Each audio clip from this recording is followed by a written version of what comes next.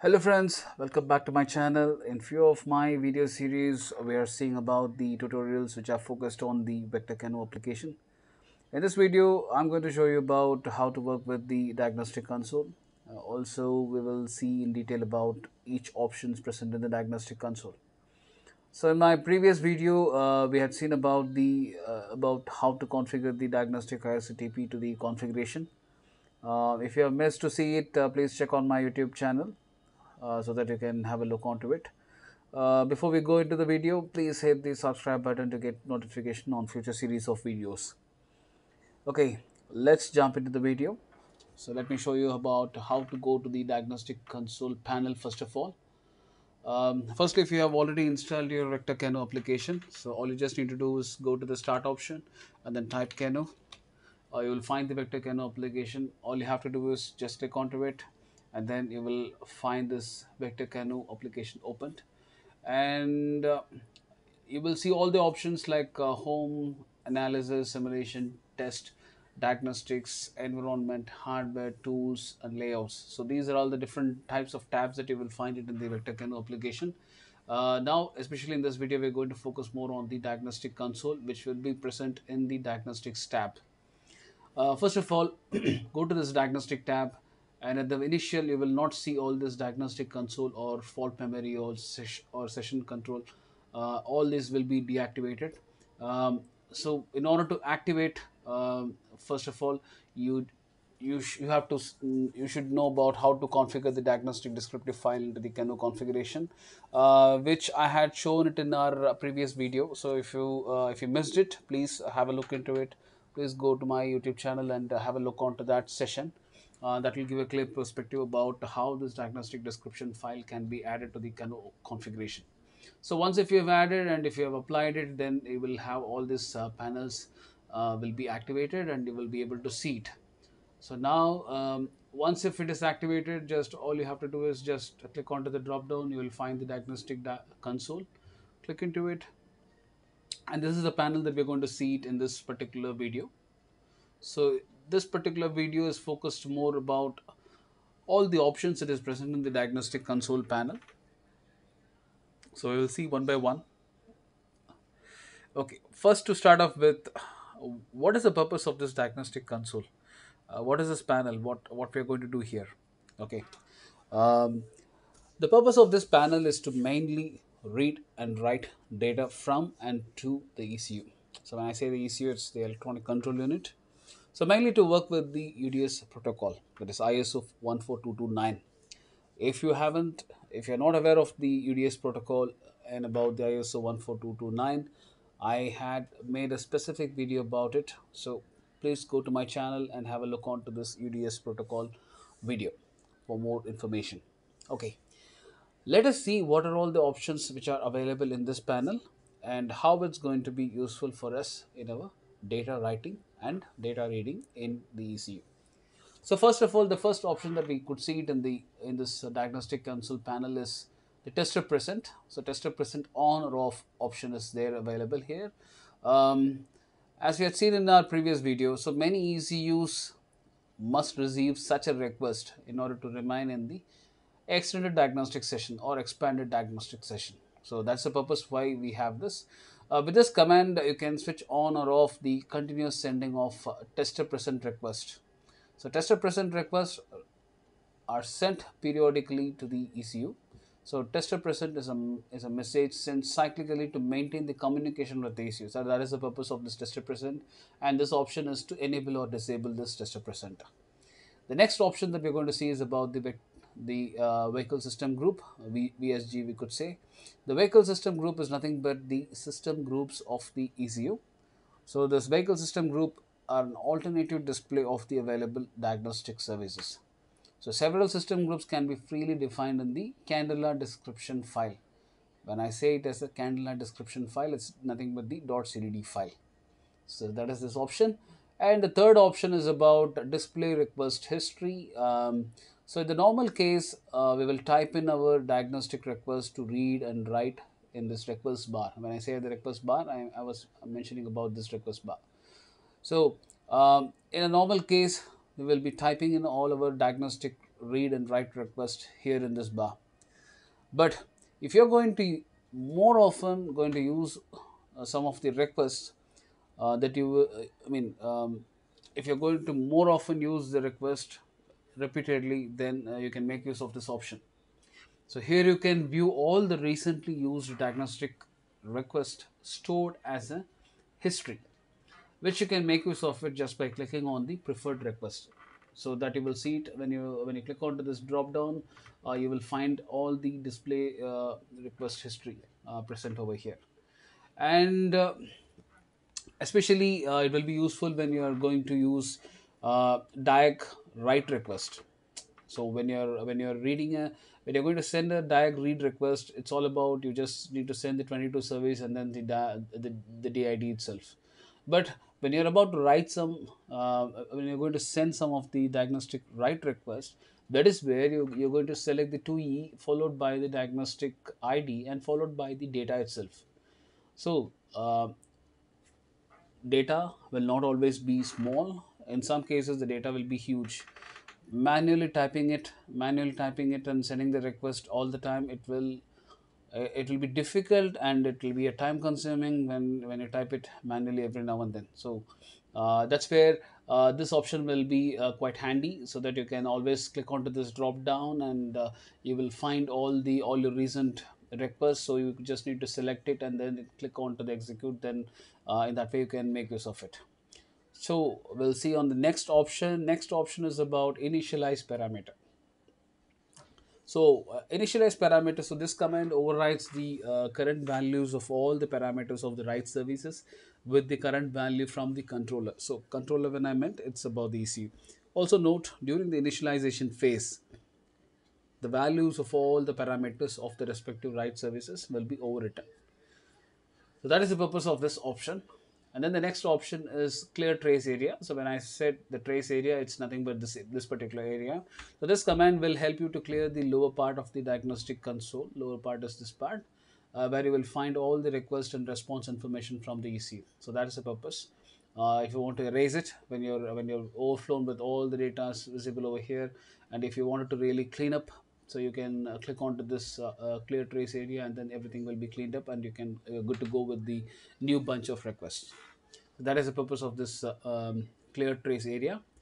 And the next one is activate trace locking. So activate trace locking. So this will allow you to save the trace locking. So on uh, uh, whichever request that you wanted to save it for analysis or uh, or report storing purpose. For that for that use case you can use this um, activate trace locking. And the next option is activate the search. As you all know search option is to search for something. So here especially what what we are going to search. Uh, here the search option will be used to search for the diagnostic request or uh, uh, read request or write request or routine control or whatever it may be. So but uh, if the, the purpose is that so here it's like a tree view now. Uh, it's been categorized in uh, all the diagnostic requests and response i mean read read service and write service and routine control and sessions everything are being um, categorized and grouped and then you'll find a, whole series of uh, diagnostics uh, information. But if you wanted to really search for something so it's quite uh, um, uh, difficult if you go uh, one by one expanding all these tree views and then to find the exact diagnostic service that you want to send it. So in that uh, in that case you can make use of this activate search so that uh, once if you click it you will find a search bar over here in the bottom left bottom. And then you can type in your um, request and then you you just need to um, uh, click enter uh, and then execute. So uh, in that way it will be easy for you um, to easily search and send this request. So let us see the next option. So the next option is uh, create user defined message. So uh, uh, what is the purpose of this create user defined messages? With this option you can create a user defined message as the name suggests. It's a user defined message from the diagnostic request currently selected in the tree view. So when I say about the tree view, I meant about this one. So here you can select any one of the service and then uh, you will see this particular option will be enabled and then click onto this particular uh, um, button like uh, create user defined message and then you can uh, you can rename it uh, like in whatever way that you wanted to uh, rename you can rename it and it gives another option called message cycle. So uh, whether you wanted to send this particular uh, uh, request cyclically or you wanted to send it only only for once. If you wanted to send it only once then uh, you have to select this one. It means that um, so here we are not specifying any uh, periodic or cyclic duration. So it means that it will send only once. But if you wanted to send it in a specific period of time then uh, you have all these options available. So 1 5 10 20 30 and 60 seconds. So if you select it based on which uh, if you select and then if you click ok then you will find this particular user defined uh, uh, message coming over here. And all you just need to do is just double click on it. And uh, since you have uh, since we have configured it as a cyclic event uh, it will send it at every defined period of time. Um, so that is the purpose of this um, create user defined message. And the next option is about delete user defined message. So as you know uh, the way that we created uh, if this if this particular uh, user defined message is no longer required so in that case you can delete it off. Or if you wanted to modify something on your user defined message if you wanted to change your uh, uh, interval or if you want to change the name then obviously you can go over here and then you can edit it. So that is the purpose of this edit user defined message. And the next important part is start macro recording um, as the name as you all know what macro does is it will keep a track or it will keep a record of uh, what you do it. The the steps that you're going to manually do it it will record it and then when you play it it will play all the steps that you have already written it manually. So it will be done in a sequential way uh, as like it is recorded. So that is the purpose of the start macro recording. Um, so for example if you have a very particular sets of sets or combinations of diagnostic requests so which you wanted to always uh, um, uh, use to write before the start of your test. So you have a specific test and uh, whenever you wanted to perform the test you need to define some configuration or you need to do some sort of some sequence of uh, diagnostic requests to write it and configure the ECU. So if you have that kind of kind, kind of an instance or a condition, then uh, you you can better use this particular um, option called macro recording. Um, so here it will avoid. I mean, instead of writing these requests manually every now and then, you can use this record option and then you can replay it. So that is the uh, ultimate purpose of this uh, uh, macro recording option. And uh, this is to start the macro recording. So you have to click on it. I mean if you wanted to record something you have to click it so that the recording will happen. So all you have to do is you just need to one once uh, at a one time you have to type in all your uh, sequence of uh, configurations like diagnostic requests. And then you have to stop this recording. And then it will ask you to store the recorded macro. So when you save it when you save it it will come over here under this macro session. And whenever if you need to run this one before you, before the start of your actual test you can just double click on it. It will it will run through uh, all the uh, sequence of diagnostic uh, requests. Uh, so that is the purpose of this macro recording Okay, so uh, that's all about the options that we could see it on the diagnostic console. Uh, now we go to the right extreme side, you will find an offline uh, tab over here. And this is like an online or offline uh, status indicator. So the status indicator, it, it's meant for the ECU status indication. So like whether the ECU is online or offline, if the ECU is online, it's good. Uh, you're good to go for your diagnostic requests and for any communication analysis or uh, debugging. Um, but when it is offline, uh, it, it indicates that your ECU is, uh, is, is offline. Means it's not powered off, powered on, uh, or it's it's the communication from between the ECU and the CANoe is broken. So always ensure that this is online. So whenever you perform any actions over here in the diagnostic console.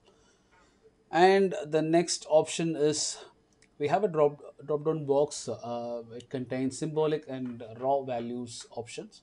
So symbolic um, the response messages are displayed in symbolic form symbolic form in the sense it's a readable format.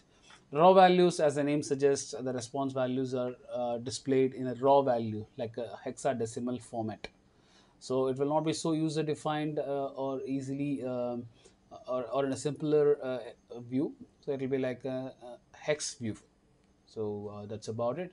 And uh, about the layout of this particular uh, diagnostic console as you see in the left side whatever you see it is the um, tree view of all the diagnostic uh, services. It's categorized uh, based on your need.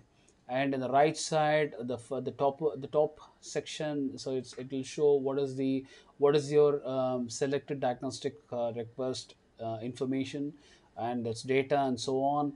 And at the bottom um, section it it is the place where you will see all the uh, diagnostic request and response uh, informations uh, from the ECU uh, so that's that's about the panel and I hope so uh, it's we are done with this uh, diagnostic console um, hope you um, hope you have got the insight about the diagnostic console panel in CANoe.